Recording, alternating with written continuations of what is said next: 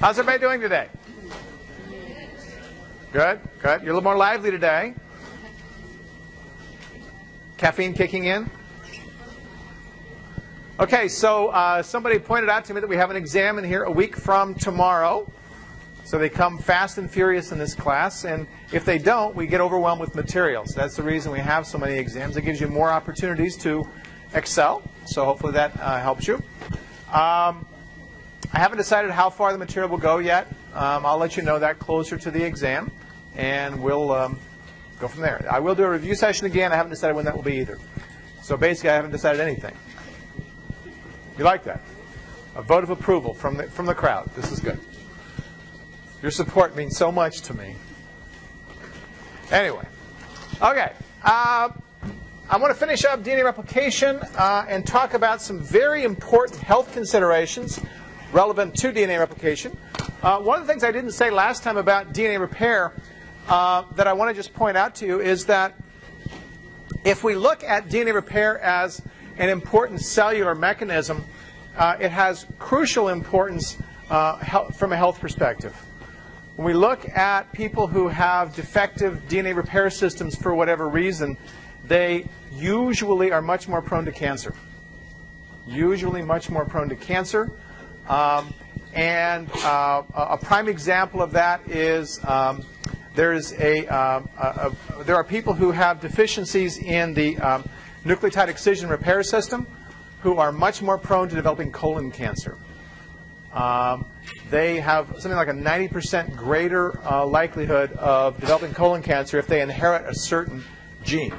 Uh, so that's uh, an important consideration. And not surprisingly, if your repair systems are not functioning properly, then when you have damage that's occurring uh, during the normal course of life, they don't get fixed, it's much more likely that mutation will happen, and as a consequence, uh, mutation leads to cancer. So that's, that's, as I said, not a surprising thing. Okay, um, somebody asked me the other day, why is it that we have uh, thymine in DNA instead of having uracil in DNA? Because uracil can pair with adenine. Why not just have Why not just have it simple? And I think the bigger question is why is there uracil in RNA than there is why is there thymine in DNA? And the reason is because uh, uracil is um, a byproduct of the oxidate or the deamination of cytosine. So if you take cytosine and you uh, allow the, the amine group to come off, and that does happen with a reasonable frequency, if you allow that amine group to come off, what happens is you create a uracil.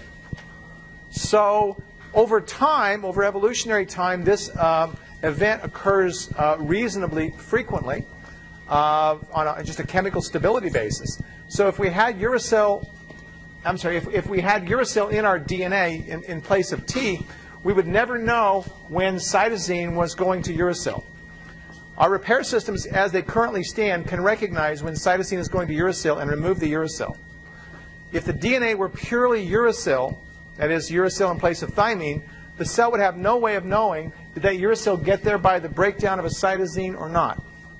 So it's a simpler scheme to have the, the setup that we describe here. Okay? So having thymine uh, there, whenever we see uracil in DNA, we assume the cell assumes it has come from deamination of a cytosine to make that. Okay, so it simplifies the repair system quite a bit. Okay, that deamination reaction is actually shown in the next slide, which is right here. You're not responsible for it, but that just shows you what's happening. So you're simply taking the amine group off and replacing it with an oxygen. Chemically, that's a very simple uh, kind of a reaction. Okay, well, the last things I want to say about DNA replication relate to replication in eukaryotes, and I hope to convince you by the end of talking about that that this is the most interesting aspect of DNA replication that, that, that we know of. Okay? So eukaryotic DNA replication is very, very interesting, and it's interesting partly because um, of the unique structures of eukaryotic uh, chromosomes. That I'll talk about in just a minute. First, though, I want to talk about the issues that eukaryotic cells have to deal with.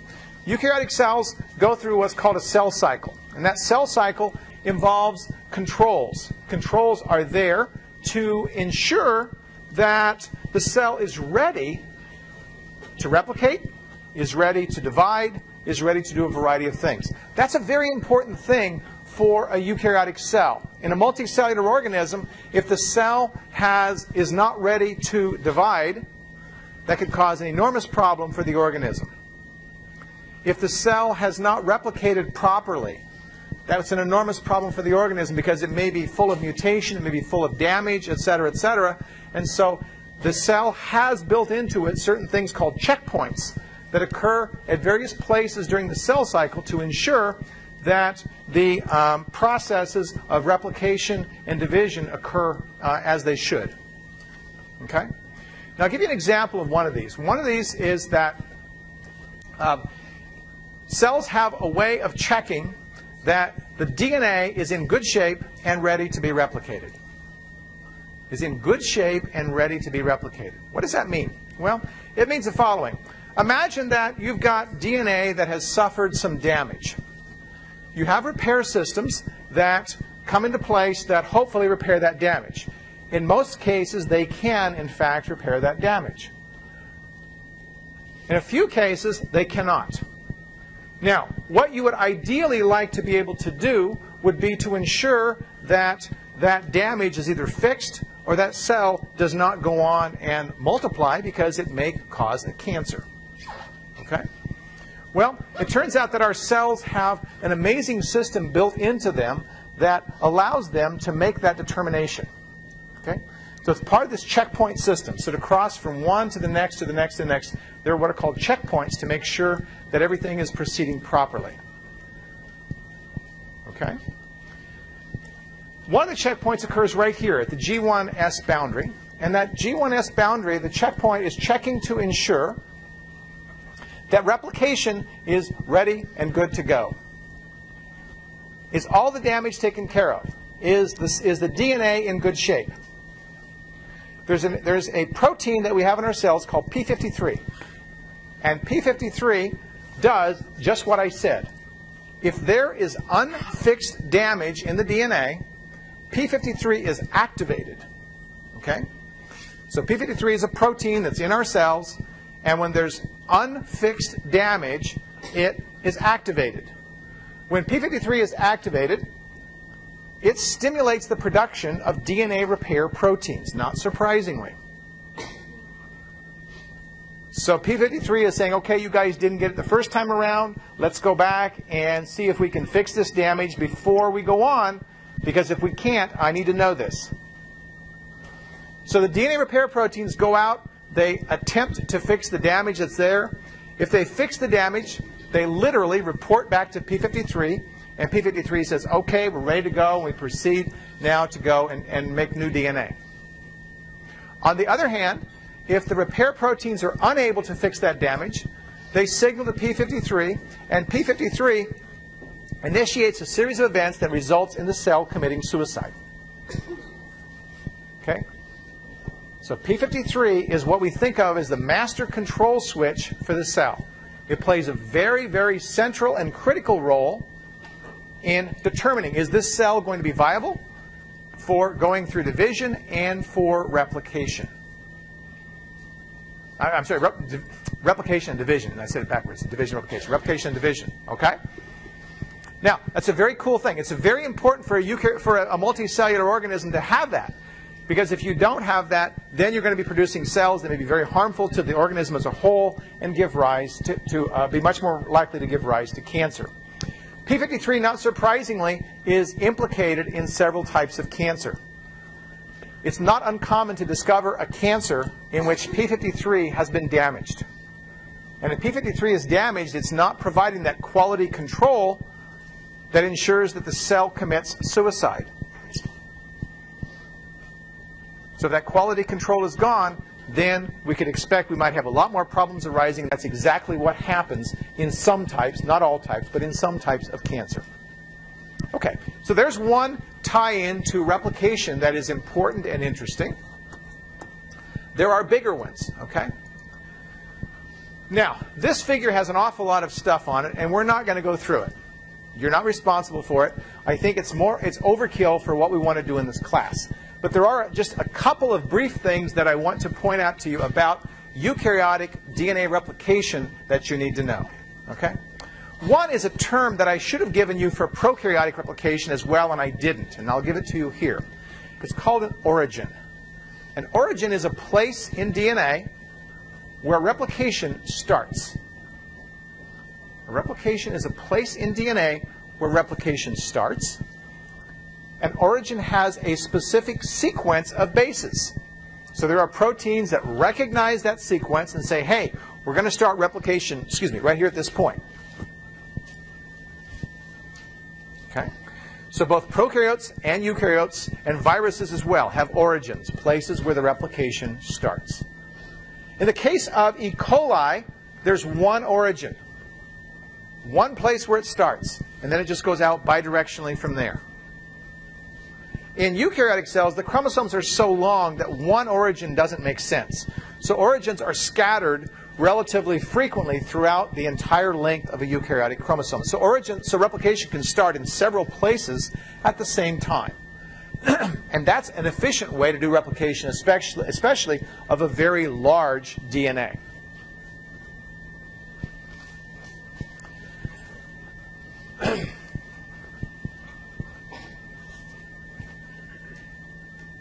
Okay. The other thing I want to say about origins um, is that um, we have some issues in eukaryotic cells that we don't have in prokaryotic cells. And the main issue that we have is that eukaryotic chromosomes are linear, not circular. In the case of prokaryotes, we can go all the way around and everybody is happy. We can tie all the loose ends together wherever we started. Okay, we can remove the excess primers. We have a perfectly a perfect copy of that um, circular chromosome in prokaryotic cells. In eukaryotes, we have linear chromosomes. And it turns out that that poses a real problem. Okay? The real problem, and I'm going to explain it to you simply, is that imagine that we start replication at the far end of a eukaryotic chromosome. So we're starting at the linear end, and one of the things that I taught you, hopefully last time, is that all DNA polymerases only work off of an existing primer.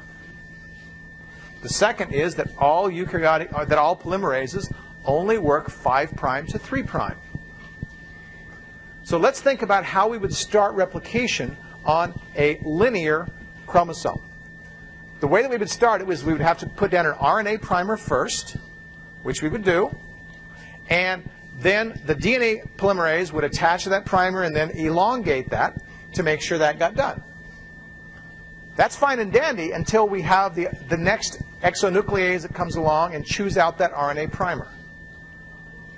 There's a gap that we can't fill. Because remember, we have to go 5' to 3', which is what the RNA primer was doing. And a DNA polymerase cannot start a primer. So every time we replicate a eukaryotic chromosome, we have a little piece at the end that does not get replicated. Every time it replicates. That's true for your cells, it's true for my cells, it's true for mosquito cells, it's true for turnip cells, it's true for all eukaryotic cells because all eukaryotic cells have linear chromosomes. From a practical point of view, what that means is that my chromosomes are shorter than your chromosomes. My chromosomes are shorter than your chromosomes. The more times my cells replicate, the shorter I'm going to get because each time I lose a little bit more, a little bit more, a little bit more. Okay? So let's take a look at that.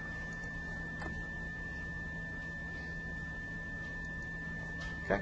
So this is schematically trying to show you uh, what's happening uh, with that. And it introduces a new enzyme called telomerase. And I'm going to tell you about telomerase, but the first thing I want you to do is have that mental image of your linear chromosomes getting shorter with every round of replication. Let's think about some problems that we might have with that, that shortening of the chromosomes. Okay? We have DNAs so that we can code for genes, right? So if we start shortening our chromosomes, aren't we starting to chew up our genes that we might need? And the answer is if we